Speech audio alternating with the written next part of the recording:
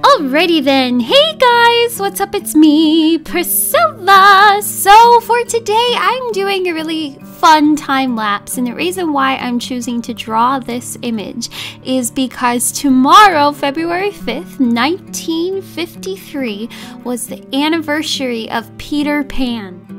And of course, most of you already know that Peter Pan is one of my all time favorite, favorite, favorite Disney movies.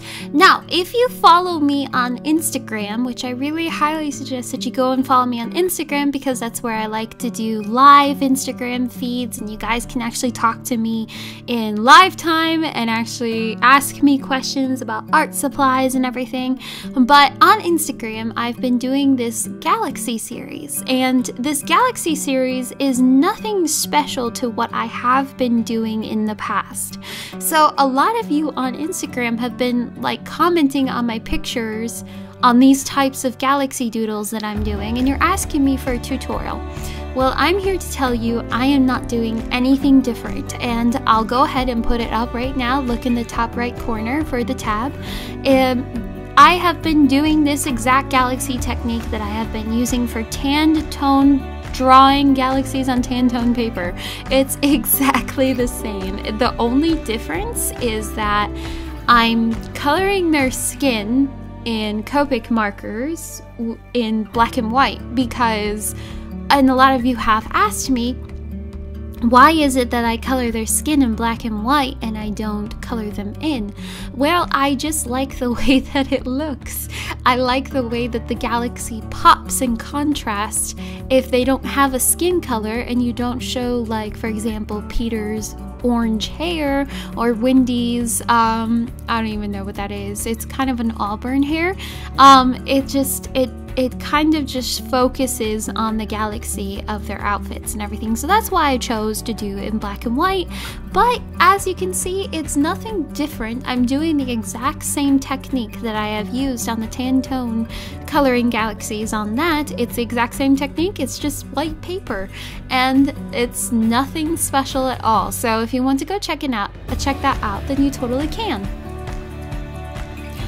But I thought another fun like topic to go ahead and go over with you guys is I get this question a lot and I think I want to go ahead and answer it. It's why I like galaxies so much. And I know a lot of you do ask it on either it's my post on Instagram or just through my live sessions and stuff.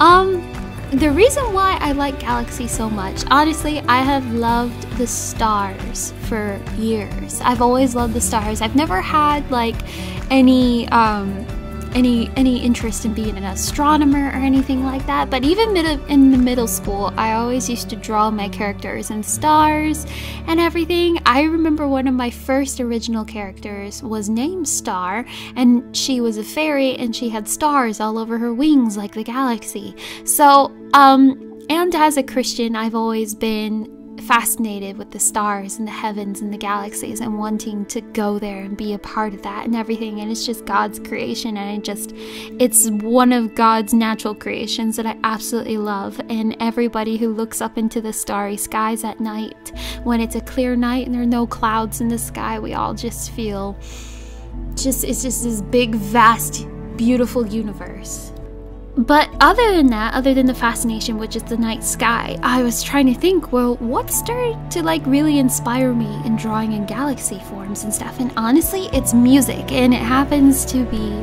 Owl City. I love Owl City, and I'm sure a lot of you guys already know that I am obsessed with Owl City's music. And there was an album in 2011, and that was his album that he came up with Alligator Sky and Galaxies, which was like a tribute to the um, to the astronauts that passed away in that fatal crash of the um, spaceship. I don't I don't know I don't know terms, but he made the song Galaxies, and that really like piqued my interest and just like even his earlier songs like meteor shower um it just all i could really imagine was just like standing and watching the stars fall around my feet in a in a fun beautiful way not like catastrophic like uh, asteroids coming and hitting earth god forbid. But that's like that's where my inspiration of galaxies came from.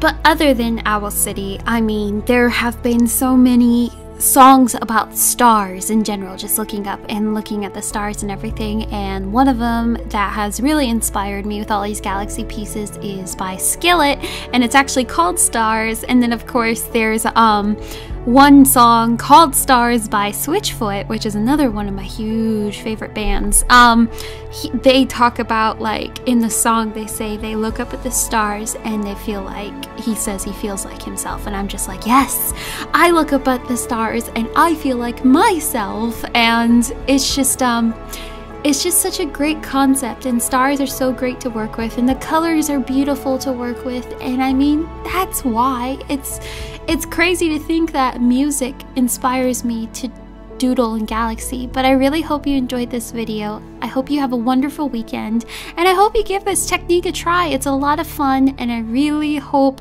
you'll have fun doodling it. So have a great weekend. Bye